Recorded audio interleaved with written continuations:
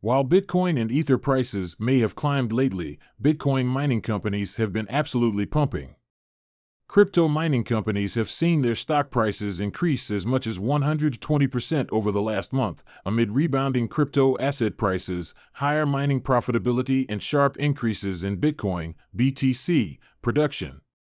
Crypto mining companies Marathon Digital Holdings at 124.12%, Core Scientific at 110.39%, Hut 8 at 98.95%, and Riot Blockchain at 96.69% have seen their stock prices rocketing upward over the last 30 days, according to data from Yahoo Finance, significantly outperforming BTC with 18% and Ether, ETH, with 67.8% asset prices. In a Q2 results filing on Thursday, Core Scientific reported a staggering 1,601% increase in self mined Bitcoin year to date, reaching 6,567 BTC. Q2 revenue rose 118% year on year to $164 million, driven by increases in digital mining revenue and hosting revenue. Hut 8 Mining Corporation also saw its mined Bitcoin increase in the quarter, up 71% compared to the prior year period to a total of 946 mined BTC due to an increase in hash rate from additional highly efficient miners and ramping of activities at its Ontario mining site.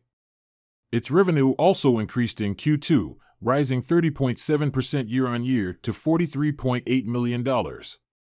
Marathon Digital, which shared its Q2 results earlier this week, also said it had increased its Bitcoin production year on year, producing 707 BTC in the quarter despite a challenging macro environment, with an 8% increase in Bitcoin production activity. All three companies, however, posted widened losses, driven by impairment losses on their crypto holdings.